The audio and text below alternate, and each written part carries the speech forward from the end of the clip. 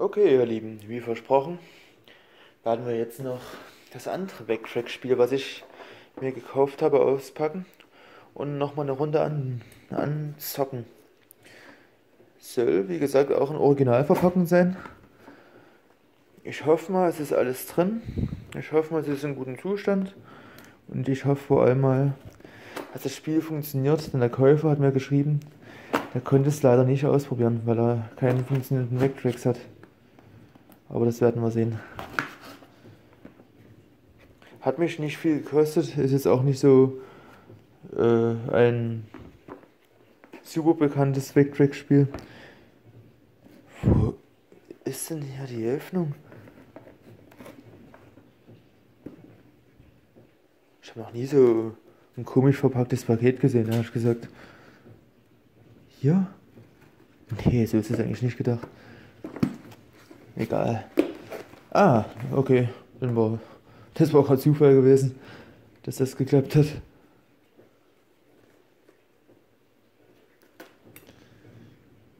Ich sehe gerade, ihr könnt mir dabei gar nicht so richtig zugucken, aber ich versuche ah, auch bloß gerade das Paket aufzukriegen.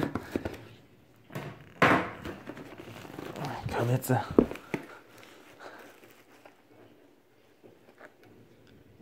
Mach ich schon was kaputt? Nee, oder? Nee.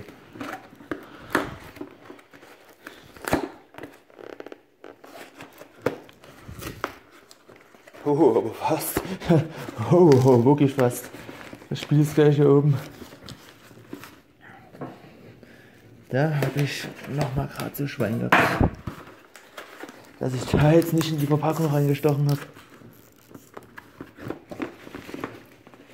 Na gut, hören wir es raus.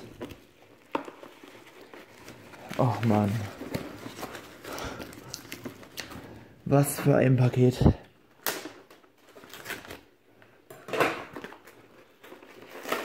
So, aus mit dir. Oh je, oh je, oh je, ich sehe schon.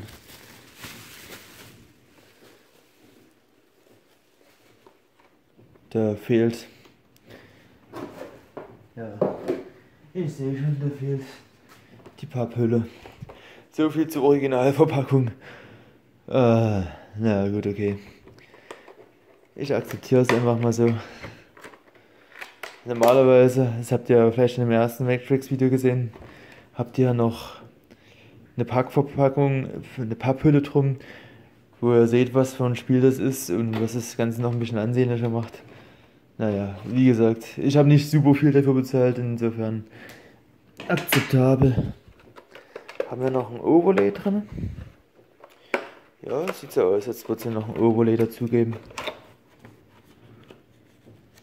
Ja, genau. Ah, wenigstens etwas. Und zwar sieht das diesmal so aus. Und da seht ihr auch gleich, was das für ein Spiel ist. Flipper Pinball, ein Pinball-Spiel. Was denke ich auch ganz gut für den Vectrex funktioniert, so mit der ganzen Grafik. Und hier seht ihr, ja, das ist ein bisschen schlecht zu erkennen, vielleicht. Ja, hier seht ihr auf jeden Fall, wie es bei Pinball ist. Links unten Bonus und Score, Player 1, genauso wie für Player 2. Dann habt ihr wieder so diese, diese Bumper und noch diverse andere Sachen, wo man dagegen schießen kann. Ist halt alles eingefärbt. Und dort geht es dann halt runter. Ansonsten wieder die Buttonbelegung. Ganz links ist Pause. Der nächste ist linker Flipper, rechter Flipper und ganz rechts ist Schießen. Also spielt man dann quasi so. Ich vermute mal, den Joystick benutzt man gar nicht. Das werden wir aber gleich rausfinden. So, ich hoffe mal, das Spiel wird gleich funktionieren auf Anhieb. Denn es könnte auch sein, dass es schon länger nicht mehr benutzt wurde und deswegen etwas korrodiert ist. Aber ich muss sagen, hm, es lässt mich, es lässt sich gerade relativ schwer für mich verbergen, dass ich doch recht enttäuscht bin wegen der fehlenden Originalverpackung. Aber man kann es jetzt nur so akzeptieren. Wer weiß, ich finde ich ja mal eine Flipper-Papphülle ohne Spiel. Dann kann ich mir also auch kaufen. Oh gut, ich meine, wenigstens haben wir hier das Overlay dabei. Das ist auch was. So, hier haben wir das Spiel. Wie gesagt, hoffen wir dass, dass die Kontakte nicht allzu sehr korrodiert sind. Dass es jetzt gleich auf Anhieb funktioniert. Was in der Regel bei Modulspielen hilft, ist mal ein paar Mal rein und rausstecken. Dadurch reinigt sich das schon mal so ein bisschen. Und da schauen wir mal ab, hier was kommt.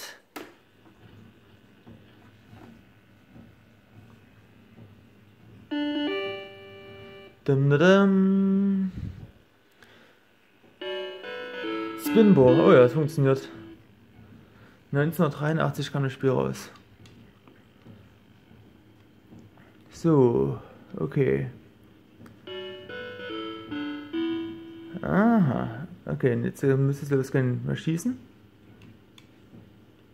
Geht nicht. Linker Flipper, rechter Flipper. Ah, ich muss aufziehen. Dafür brauche ich einen Joystick. Ah, ach so, mit dem Joystick kann ich ja links nach rechts dagegen hauen, deswegen war jetzt auch Tilt. Okay. Machen wir nochmal. Diesmal richtig. Ah, ich sehe gerade schon, es flackert, das flackert ganz schön in der Aufnahme. In echt flackert das, hm, ich sage jetzt mal so gut wie gar nicht.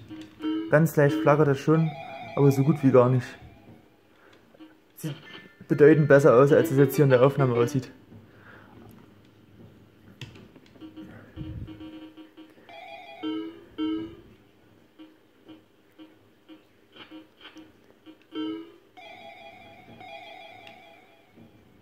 Kennt ihr noch diesen Windows Flipper? Der war glaube ich zu Windows XP und zu Windows 2000 mit dabei gewesen. Den habe ich damals gesuchtet. Ja, super. Den habe ich damals gesuchtet. Und ich kann mir gut vorstellen, hätte ich ganz früher so einen Pinboarder gehabt, hätte ich den genauso oft gespielt. Was halt schade ist, ist, dass man jetzt hier beim Spielen keine, keine, äh, keinen Punktestand sehen kann. Ja, da kann ich nichts machen. Das ist ein bisschen schade. Man sieht jetzt hier unten die 35.805. Aber jetzt ist es halt wieder weg. Wahrscheinlich hat sich das von, von der Rechenleistung damals nicht darstellen lassen. Das ist so meine Vermutung. Ja, kann ich auch nichts machen. Ich finde die Flipper sind ein kleines, die Bumper sind ein kleines bisschen zu klein, zu kurz. Weil man hat zu oft das Problem, dass man nichts machen kann. Ich wurde übrigens während der ersten Partie angerufen. Ich hoffe einfach mal, dass man das nicht, nicht mit sehen wird. Auf der Aufnahme, ich denke aber nicht. Hier kann man übrigens noch einstellen, wie doll man schießen will. Ich mache mal weniger doll. Ah, das reicht nicht. Ein bisschen doller. Ja, und das ist, mehr kann man dazu nicht sagen, ganz normaler Flipper. Ich habe mir überlegt, ob ich mir vielleicht früher, das war jetzt meine Schuld, früher oder später mal eine komplette Vectrex-Sammlung zulegen kann. Ich glaube, das kamen so 32 Spiele raus. Äh, und ja, wie gesagt, die, die Bumper sind zu kurz. Der Ball, der ist halt so klein und der Ball, der würde bestimmt drei oder viermal dazwischen durchpassen. Das ist halt ein bisschen Mist. Ja, wie gesagt, es gibt, glaube ich, so ein paar 30 Vectrex-Spiele. Also nicht so super viel. Wieder. Nicht so super viel. Dafür sind die natürlich relativ selten. Und es gibt noch so ein paar Erweiterungen für den Vectrex, die sind richtig selten und auch richtig teuer. Da gibt es eine 3D-Brille. Glaubst oder glaubst nicht, da gibt es wirklich eine 3D-Brille, mit der ihr so einen 3D-Effekt von dem Vectrex haben könnt. Und es gibt ein Lightpen, mit dem ihr, also wie so ein Stift, mit dem könnt ihr auf eurem Vectrex zeichnen. Ja, das war's. Die sind richtig teuer und dafür gibt es glaube ich auch insgesamt drei Spiele für die beiden, beiden Add-ons. Ja, aber wie gesagt, ich werde mir vielleicht immer mal, wenn ich wieder was im Budget habe, mal ein neues Vectrex-Spiel kaufen. Und euch das natürlich vorstellen. Ich finde das ein bisschen schade, dass man, dass man die Farbe von den Overlay nicht so richtig gut erkennen kann in der Aufnahme. Also in echt sieht man ja schon, dass hier oben halt das so ein bisschen blau ist und dann hier gelb. Hier ist es so ein bisschen grünlich. Hier unten wieder gelb. Ich versuche mal, ob ich da irgendwas dran ändern kann, wenn ich an der Helligkeit rumschraube. Oh, das ist heller. Machen wir dunkler. Ganz hell. Ja, man, man sieht dann halt quasi das so ein bisschen durchflimmern. Je heller ich das mache, jetzt ist jetzt ist gerade ganz hell. Stellen wir mal so ein. Ja, das sieht man leider nicht so super gut. Ja, und wie gesagt, das, das so flimmert das Bild. Ist ein, vor allem in der Aufnahme. In echt ist es auch ganz leicht, aber nicht stark. Ich kann übrigens mal das Overlay abmachen. So sieht das ohne aus. Okay. Dann war es das für das Video. Danke fürs Zuschauen und bis zum nächsten Mal.